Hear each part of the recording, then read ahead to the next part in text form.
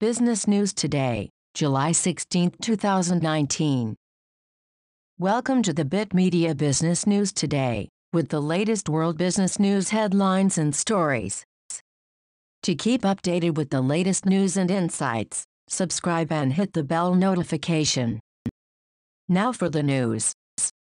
European shares and U.S. futures were muted while the market waited for more earnings news.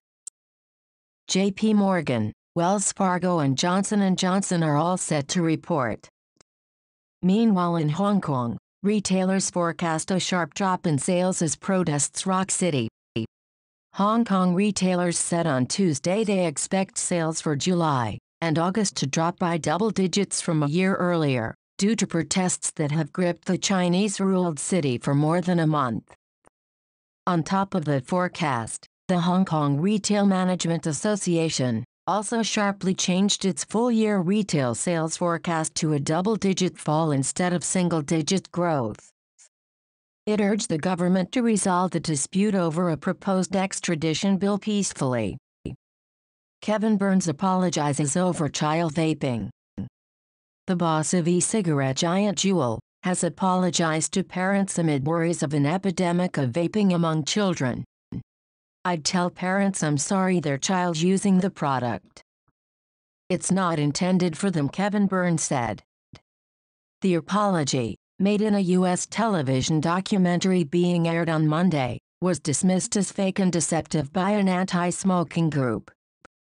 Juul, which has begun a marketing push in the UK, is trying to cut teenage use but faces lawsuits from parents, I hope there was nothing that we did that made it appealing to children, he says in the CNBC documentary. Vaporized America's e cigarette addiction. As a parent of a 16 year old, I'm sorry for them and I have empathy for them, in terms of what the challenges they're going through.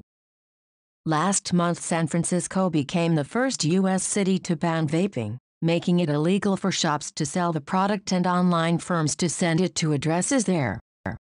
Mr. Burns admitted that there still needs to be research into the long-term impact of vaping. Frankly, we don't know today. We have not done the long-term, longitudinal clinical testing that we need to do, he said. Now to the UK, Brexit pummels pound. Darkening German investor morale, and fresh Brexit woes cast a shadow over European markets on Tuesday with German benchmark bond yields coming under pressure and the pound plunging to six-month lows against the euro. Germany's ZEW indicator showed that the mood among investors in Europe's largest economy deteriorated more than expected in July. With the survey pointing to the unresolved China-US trade dispute and to political tensions with Iran. The report knocked Germany's 10-year bond yield deeper into negative territory at minus 0.316%. The pound sterling is the worst performing major currency in the world over the past 24 hours, over the past month, over the past three months and over the past year. PayPal launches international money transfer service Xoom across Europe. U.S. payments company PayPal is expanding further in Europe by launching its international money transfer service Xoom in Britain and 31 other countries across the continent.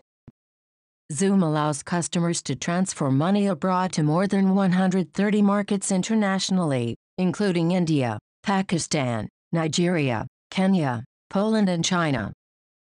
The company said the rollout would help it grab market share in the $689 billion global remittances market building on previous launches of the service in the United States and Canada. Britain's alone transfer over $26 billion in remittances overseas annually, many sending money to help family members pay bills.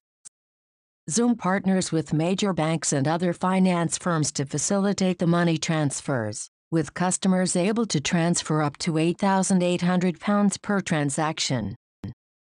Avengers Endgame within $7.1 million of Avatar record. If the stars align, and it appears they will, Disney's Avengers, Endgame will soon be the top grossing film of all time. Spider-Man, Far From Home will cross $1 billion at the global box office, and Marvel will continue to solidify itself as one of the most successful film franchises in industry history. And there's more to come. In just a few days, Marvel is expected to take the stage at Hall H at San Diego Comic Con to unveil its next phase of superhero films. Thank you for listening to the Bit Media Business News today. To keep updated with the latest business news, subscribe and hit the bell notification. Until next time.